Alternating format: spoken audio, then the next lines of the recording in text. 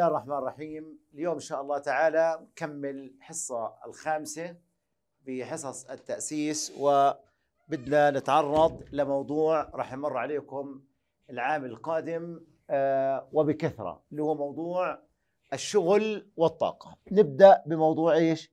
بموضوع الشغل. مر عليكم بالسنوات السابقة الشغل. طلع شو أكتب؟ إذا أثرت إذا أثرت قوة مقدارها كم يا أخوان؟ مقدارها اف على جسم. أثرت قوة على جسم وظل الجسم. طلعها. وظل الجسم يتحرك بفعل القوة. يعني ما انقطعت عنه القوة. بفعل القوة مسافة مقدارها كم؟ دي مثلا أو أي رمز إكس فإن هذه القوة فإن هذه القوة تبذل تبذل على الجسم شغل وهذا الشغل يرمز له بالرمز W. يعني نفهم أكثر وأكثر عنده هون جسم هذا جسم هذا سطح طبعا سطح أفقي هذا اللون عبارة عن سطح إيش؟ سطح أفقي. طبعا كل الحركات اللي إحنا بندرسها حركات أفقية وفي حركات دائرية بعدين. وهذا جسم ساكن. هذا جسم ساكن يعني سرعته الابتدائية كم تساوي؟ صفر. وكتلته m أثرت عليه قوة مقدارها F وتحرك الجسم آي حركة مين؟ حركة الجسم بهذا الاتجاه. وظل الجسم يتحرك بفعل القوة. ما انقطعت القوة على الجسم هذا فإن هذه القوة تكون قد بذلت على الجسم شغل. يعني زي ما تجيب شوال رز وتظلك تجر فيه تجر فيه تجر فيه تجر فيه وتطلعه درج وتنزله ودنيا وكذا. أنت بتكون تبذل على هذا الشوال إيش؟ شغل. وفعلا بتشعر بتعب ما أنت. هذا الشغل يا إخوان يحسب بالعلاقة W يساوي F d cosine theta واحد بقول شو دخل ثيتا هون؟ هي إما ثيتا هاي. W يساوي F d cosine theta. اولا F هي ال force كتبناها فوق اللي هي القوة. دي المسافة التي قطعها الجسم تحت تأثير القوة. ديروا بالكم ها. دي هاي نقطة خطيرة ولعينها. ديروا بالكم ها. دي هي إيش؟ دي المسافة المقطوعة المقطوعة وين؟ تحت تأثير القوة بس.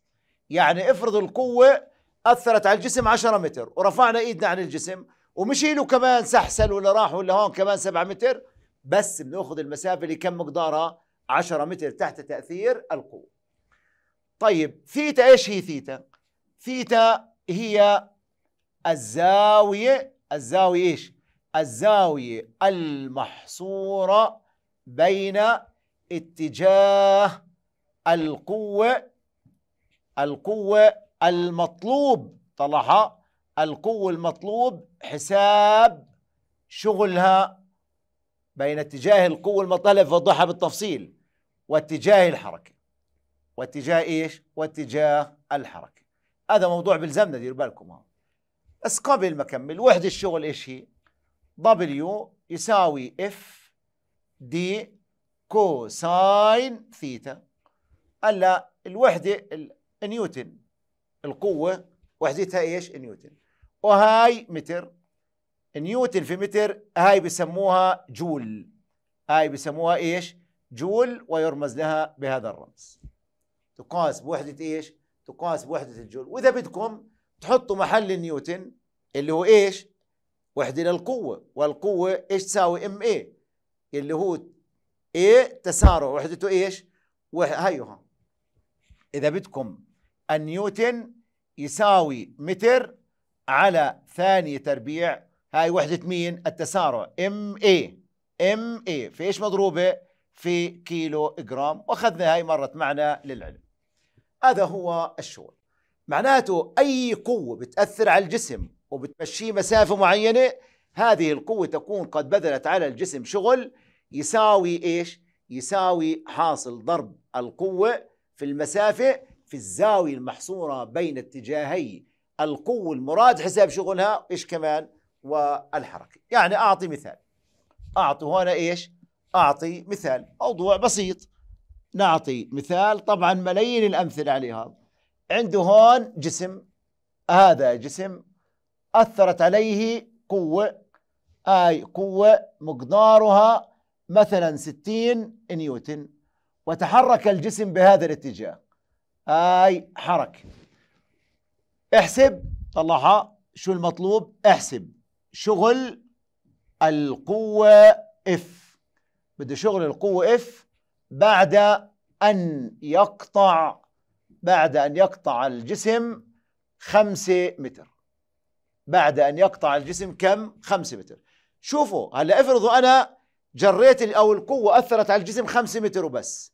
وراحت القوة. مشي مليون متر ماليش فيها خلص أنا إلي في المسافة تحت تأثير القوة W الشغل يساوي F d cosine theta ويساوي F اللي هي القوة 60 المسافة المقطوعة خمسة. آه cosine theta إيش هي؟ الزاوية بين القوة والحركة. هاي القوة هيك وهاي الحركة وإحنا قلنا أي كميتين بنفس الاتجاه الزاوية بينهما صفر. ذكرت هذا الكلام. أي كميتين بنفس الاتجاه الزاوية بينهما صفر. وأي كميتين متعاكستين الزاوية بينهما 180 وأعذر من أنذر ها ولا زلمة ينساها. ضرب cosine الصفر. وكلكم عارفين إنه cosine الصفر كم يساوي؟ اضبط هاي. cosine الصفر إيش يساوي؟ cosine الصفر يساوي واحد. ويساوي 300 إيش؟ ويساوي 300 جول. ناخذ مثال آخر. طلعوا المثال الآخر ها طلعوا المثال الآخر. هاي عندي هون كمان إيش؟ كمان مثال. عندنا هون جسم. هاي جسم أثرت عليه قوة بهذا الاتجاه مقدارها F1 ساوي 100 نيوتن. ساوي 100 نيوتن تحرك بهذا الاتجاه وفي قوة تعاكسها مقدارها F2 يساوي 20 نيوتن. 20 إيش؟ نيوتن. طلع شو بدي منك. هلأ هاي بتبذل شغل وهاي كمان بتبذل شغل. قوتين فيش فرق بينهم صح ولا لا؟ كلاهما يبذل شغل. بس طلع شو الفرق بينهم. احسب شغل F1 احسب شغل إيش؟ F1 بعد مسافة كم؟ بعد مسافة تساوي خمسة متر. بدي شغل مين؟ F1 بكتب له WF1 يعني شغل القوة F1 إيش يساوي؟ يساوي F1 في d في cosine theta ويساوي F1 كم؟ 100 أنا بدي شغل F1 ماله مال هاي؟ الله معها. 100 ضرب المسافة خمسة. عرف ثيتا. الزاوية المحصورة بين القوة المراد حساب شغلها والحركة. الزاوية بين F1 وبين الحركة صفر. إذا cosine إيش؟ cosine الصفر. cosine الصفر واحد. شو بيطلع الجواب عندنا بيطلع الجواب يساوي 500 جول. 500 إيش جول؟ في كمان مطلوب. احسب. يا سلام علينا. احسب شغل F2 بدنا نحسب شغل مين؟ F2 بعد مسافة تساوي كمان خمسة متر. بده شغل مين الآن؟ بده شغل F2 بسيطة. بكتب له W F2 يعني شغل F2 إيش يساوي؟ يساوي F2 في d في cosine theta ويساوي F2 equal what equal 20 و d كم المسافة؟ خمسة. آه أجاك الموت يا تارك الصلاة. عرف theta. theta الزاوية المحصورة بين F2 والحركة. لاحظ الحركة شرقا وإف2 غربا. متعاكستين. أي كميتين بنفس الاتجاه الزاوية بينهما صفر. أي كميتين متعاكسين زاوية بينهما كم؟ 180 وجت ال 180 يا إخوان سالب واحد. بيطلع الجواب ناقص 100 إيش؟ ناقص 100 جول. ناقص 100 جول. ناخذ كمان مثال. ناخذ كمان مثال ونشوف. هاي عنده هون آه جسم. هذا جسم كتلته خمسة كيلو جرام يلا نصعب شوي. أثرت عليه قوة مقدارها F1 ساوي كم؟ ساوي 80 نيوتن ساوي 80 نيوتن وهاي الزاوية كم مقدارها؟ هاي الزاوية مقدارها 60 هاي الزاوية مقدارها إيش؟ مقدارها 60 وفي عنده هون كمان قوة هاي القوة F2 ساوي كم؟ ساوي 10 أول طلب بدي إياه منكم احسب تسارع الجسم بدنا نرجع لإيش؟ لتسارع الجسم هلا اتفقنا نحلل هاي القوة اتفقنا إيش؟ نحلل أو بلاش نحسب التسارع خلاص كلكم أخذنا عليه أمثلة هاي أخذنا عليه أمثلة يعني بدك تحلل القوة وتطلع تكتب لي التسارع اللي مجموع القوة يساوي 100 أخذنا عليه أمثلة كثير بلاش أول طلب بدي إياه أحسب شغل F1 بدي شغل F1 بعد مسافة خمسة متر. بدي شغل F1 ولا شيء. باجي بقول له W F1 إيش يساوي؟ ساوي F1 في d في cosine theta. ويساوي F1 80 ضرب المسافة المقطوعة خمسة. مسافة المقطوعة تساوي كم؟ تساوي خمسة. ضرب خمسة. ضرب آه شو هالخمسة؟ يا مش عجبتني الخمسة هاي الخمسة مش عجبتني ضرب خمسة. ضرب cosine من يعرف ثيتا إيش هي؟ الزاوية المحصورة بين القوة والحركة هاي الحركة. هاي أنا معطيكم هنا إيش؟ اتجاه الحركة. ثيتا لاحظوا أخذنا ثيتا مرة صفر ومرة 180 ومرة 60 ضرب cosine إيش؟ ضرب cosine ال 60 ويساوي F 1 كمان مرة 80 ضرب 5 cosine ال 60 يعطى بالسؤال نص. ويساوي فيها واحد؟ فيها 40 ويساوي 200 جول. في كمان طلب بدي أطلبه. احسب شغل F 2 طلعها. اثنين احسب شغل إيش؟ احسب شغل F 2 بعد مثلا سبعة متر. بعد سبعة إيش متر؟ ولا شيء. بكتب له W F 2 يعني شغل F 2 يساوي F 2 في d في cosine theta F 2 كم تساوي 10 و d كم تساوي سبعة؟ ضرب cosine. عرف ثيتا اللي هون. الز... طلعوا ثيتا اللي هون. الزاوية المحصورة بين F 1 والحركة. بين F 1 بين F 1 والحركة اللي 60 هلا الحالة الثانية ثيتا الزاوية محصورة بين F 2 والحركة اللي كم تساوي؟ تساوي 180 إذا هون cosine ال 180 وبطلع الجواب. كم بيطلع الجواب؟ ناقص 70 إيش؟ ناقص 70 جول. هذا هو الشغل. في كمان نتطرق لموضوع لاحظوا قالوا الشغل بسيط وبلزمنا ترى ديروا بالكم ويقاس بوحدة إيش؟ الجول. عندنا الطاقة الحركية. نأخذ صفحة جديدة. الطاقة الحركية. الطاقة الحركية. اسمعوا قصة الطاقة الحركية إيش هي؟ الطاقة الحركية. أي أو بلاش إذا إذا أثرت شو هالإذا هاي بتخزي؟ هاي أشطب هم الخط على هذا اللوح. أنا خط شنع أصلا؟ أصلا خط بشع تخيل مع لوح زيه وطلع بشع وبشع إذا إذا إيش؟ إذا أثرت قوة على جسم وتحرك الجسم تحت تأثير القوة. تحت تأثير القوة. ولا شو رأيك؟ نعطيكم نربطها بالشغل ولا بلاش نربطها بالشغل؟ لأنه الطاقة الحركية بتظل شغالة على طول يعني. الطاقة الحركية بتظل إيش؟ شغالة. خلص آه خلص إذا أثرت قوة على جسم وتحرك الجسم تحت تأثير القوة مسافة فإن فإن إيش؟ فإن القوة تبذل على الجسم إيش؟ شغل تبذل على الجسم شغل طب وين بروح الشغل هذا؟ متحرك الجسم يختزن في الجسم على شكل طاقة اسمها طاقة إيش؟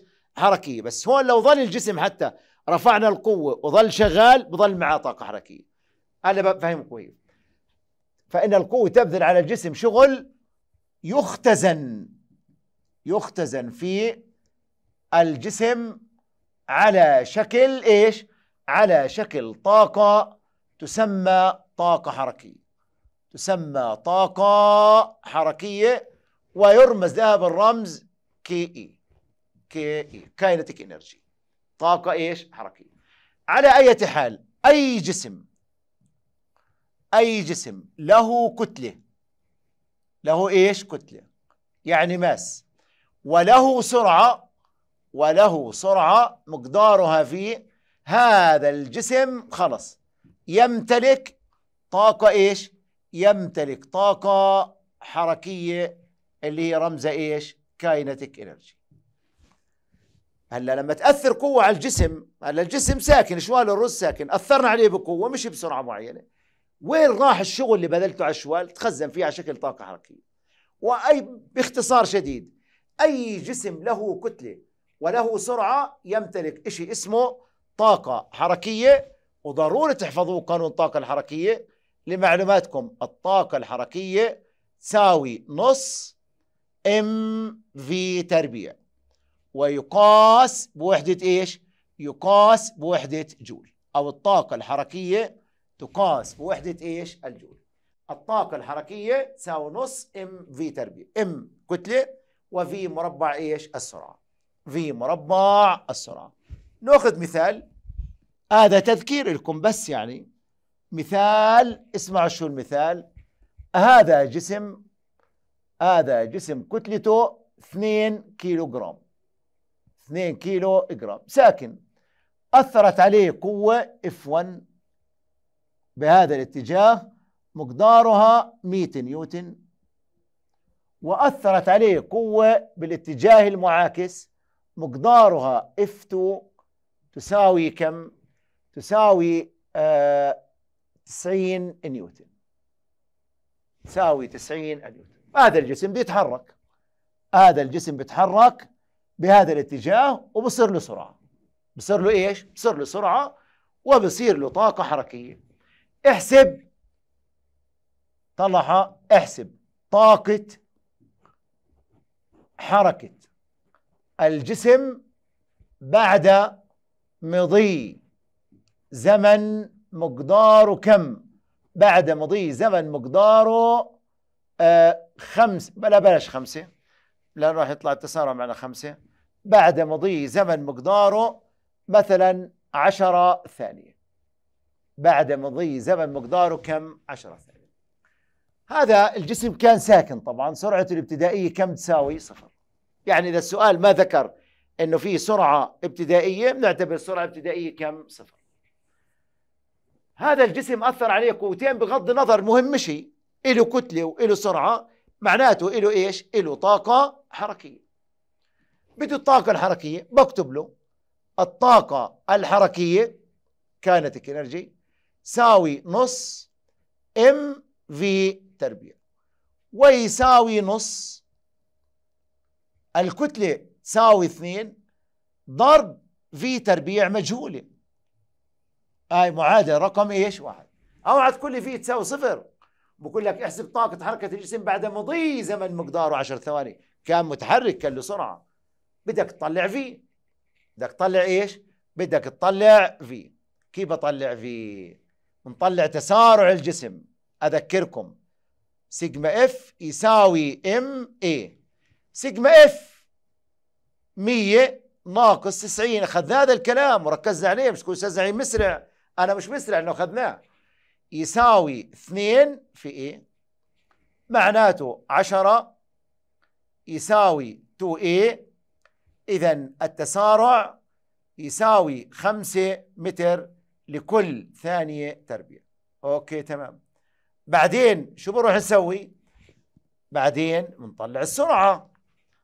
بدك تطلع السرعة بعد مضي خمس عشر ثواني. أخذنا قانون يقول V2 يساوي V1 زائد AT واحد بقول ليش اخترت هذا القانون؟ لأنه بدي السرعة بدلالة الزمن. لو بده بعد مسافة معينة في قانون آخر. تعلمنا عليهم مضبوط يا أخوان. V2 يساوي V1 صفر زائد التسارع خمسة. مضبوط تسارع خمسة. آه. ضرب الزمن كم؟ عشرة. تطلع سرعته كم تساوي؟ خمسين متر لكل ثانية. أنا بديش لا هاي ولا بدي. بدي الطاقة الحركية. باجي بكتب له. نرجع كمان مرة. الطاقة الحركية kinetic energy ساوي نص ضرب الكتلة اثنين. ضرب إيش؟ مربع السرعة. أكتبها كمان مرة القانون بعيننا الله مش مشكلة. هاي نكتبه كمان إيش؟ كمان مرة يساوي نص m v تربيع ويساوي نص ضرب الكتلة اثنين. السرعة اللي طلعت معي كم؟ خمسين. الكل إيش؟ الكل تربيع. هاي اثنين مع اثنين بتروح بيطلع الجواب يساوي 2500 إيش؟ 500 جول. هاي الطاقة الحركية. بديش يعني والله يعز علي أطلع من الموضوع بدون ما أنبهكم. في طاقة اسمها طاقة وضع. طاقة اسمها طاقة وضع ناشئة عن مين؟ عن الجاذبية الأرضية. افرضوا جبنا صندوق على الأرض ورفعناه لارتفاع خمسة متر. نبذل عليه شغل. وين الشغل بروح؟ يختزن في هذا الجسم على شكل طاقة اسمها طاقة وضع ناشئة عن الجاذبية إيش؟ ناشئة عن الجاذبية الأرضية. جسم هذا جسم طلعوا هاي عنده هون عمارة وهي جسم رفعنا الجسم وحطناه وين؟ على سطح العمارة. هل نبذل عليه شغل؟ نعم ببذل عليه إيش شغل؟ وين راح الشغل بعد ما سكن الجسم؟ وين وين راح الشغل؟ يختزن في الجسم على شكل طاقة اسمها طاقة وضع ناشئة عن الجاذبية الأرضية. والدليل على ذلك إذا الجسم سقط بسقط لحاله. فيش داعي أسقطه أنا. وبصير له سرعة ويصرف هذه الطاقة لتتحول إلى طاقة حركة. هاي أنا رفعت الجسم من هون وحطيته هون. بذلت عليه شغل آه. وين راح الشغل؟ تخزن فيه على شكل طاقة وضع اسمها طاقة وضع ناشئة عن الجاذبية الأرضية. والدليل على ذلك إذا تركته بسقط. بصير له سرعة بصير له طاقة حركية. طب من وين اجت الطاقة الحركية؟ تتحول طاقة الوضع للجسم وهو نازل إلى طاقة إيش؟ إلى طاقة حركية.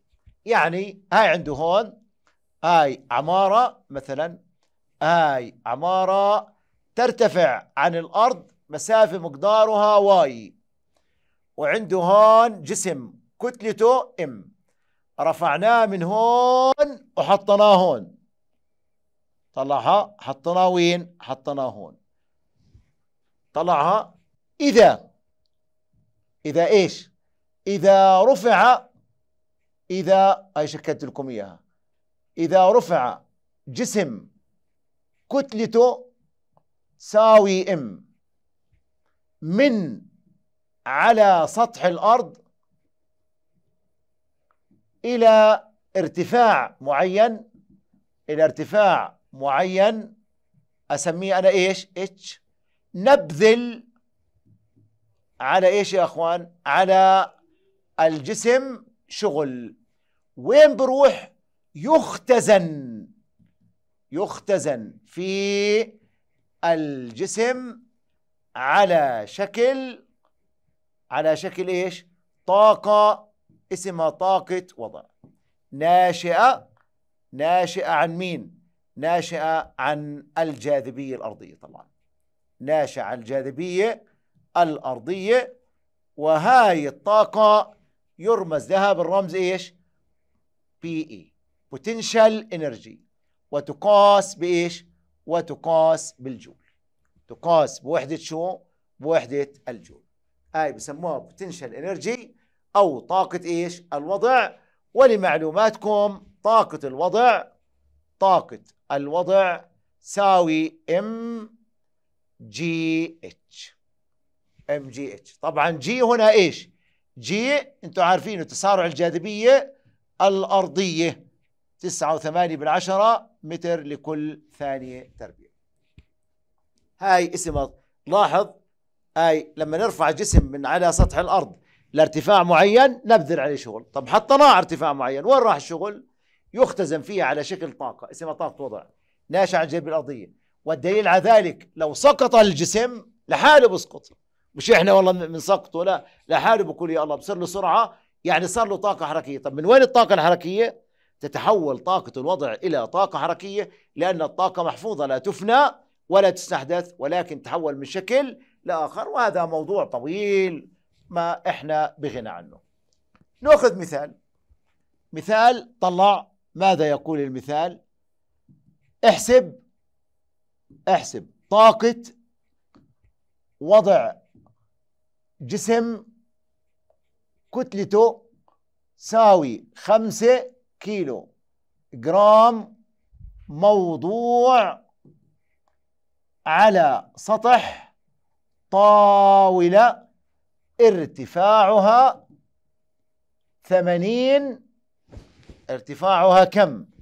ارتفاعها يساوي ثمانين سنتيمتر لاحظ سنتيمتر ها اعتبر طلع ده لك اعتبر جي يساوي عشرة متر لكل ثانية تربيع. ولا شيء. باجي بقول له طاقة الوضع potential energy يساوي ام جي اتش أو طبعا يا أخوان بدي مر معك هذا الكلام بس راح أمر معك أنت بتكون متذكره هيك. لو كان أوسع شوية ما نقدرش إحنا نتوسع بصير دورة رسمية بعدين وبتزهقوا منها الكتلة كم تساوي؟ 5 كيلو جرام تسارع الجاذبية الأرضية 10 ضرب الارتفاع 80 سنتيمتر. بكتب 80 وبقسمها على 100 ليش على 100 نحول إلى متر. نحول من سنتيمتر إلى إيش؟ إلى متر. ديروا بالكم. هاي بتعرفوها. ويساوي صفر اثنين مع هاي بيطلع الجواب 40 إيش؟ 40 جول. فلاحظوا في عندنا الطاقات نوعين. طاقة وضع وطاقة إيش؟ وطاقة حركة. آه وعندنا إيش كمان؟ شغل. ولاحظ الشغل له علاقة. الشغل المبذول إما أن يتحول إلى طاقة وضع في حالة رفع الجسم لأعلى وإما أن يتحول إلى طاقة حركية في حال إن الجسم مشي بصورة إيش؟ مشي بصورة أفقية.